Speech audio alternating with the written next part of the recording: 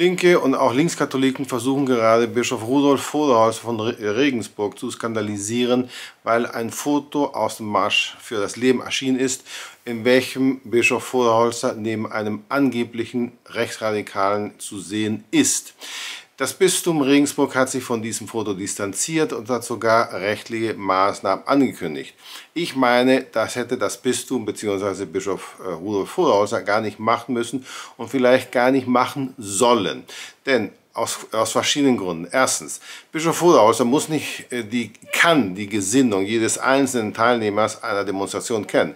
Wenn er zum Marsch fürs Leben geht, wenn er zu einer Klimademo geht, wenn er von, äh, zu einer Demonstration der Gewerkschaften für höhere Löhne gehen, geht und dort auch auftritt, weiß er nicht, welche Gesinnung von jedem einzelnen Teilnehmer ist. Das ist völlig unmöglich. Das wissen natürlich auch die Angreifer. Denen ist das völlig egal, denn sie wollen lediglich skandalisieren und sie wollen natürlich den Marsch fürs Leben framen als eine Veranstaltung, die quasi von Rechtsradikalen unterwandert ist.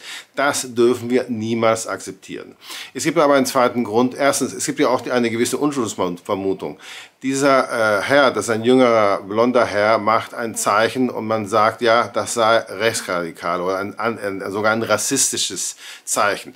Ich meine, auch für ihn gilt die Unschuldsvermutung. Meint er das? Hat man ihn gefragt, was er mit diesem Zeichen äh, sagen wollte? Ich meine, er, das muss ja zunächst mal eruiert werden. Das kann man ja nicht allein aus dem Foto sehen, sondern man müsste irgendwie eine Stellungnahme irgendwie haben. Aber es gibt einen dritten Grund, warum ich der Meinung bin, warum äh, Bischof Voderholzer sich hätte nicht restanzieren äh, brauchen bzw. müssen. Ja? Und zwar deshalb, weil man darf sich niemals auf das Narrativ, auf das Framing, auf die Kontextualisierung der Gegenseite einlassen. Es ist auch klar, dass die Linken und auch die Linkskatholiken Bischof, Bischof Voderholzer skandalisieren wollen, weil sie den Marsch für das Leben insgesamt skandalisieren wollen und sagen, ja, das ist im Grunde genommen eine völlig unterwanderte Geschichte von rechtsradikal. Was natürlich eine, völlig, äh, eine völlige Lüge ist. Jeder, der diesen Marsch kennt, weiß, das ist nicht der Fall. Man darf sich nicht auf die Kontextualisierung, auf die Argumente, auf das Narrativ der Gegenseite einlassen. Man muss das eigene Narrativ eigentlich äh, kommunizieren. Und abgesehen davon ist es zwecklos. Denn die Linken werden das auch niemals akzeptieren. Natürlich werden sie weiterhin versuchen, den Marsch fürs Leben und auch Bischof Woderholzer zu skandalisieren. Die werden nicht äh, irgendwie ihre Strategie ändern, egal wie viele solche Stellungnahmen abgegeben werden.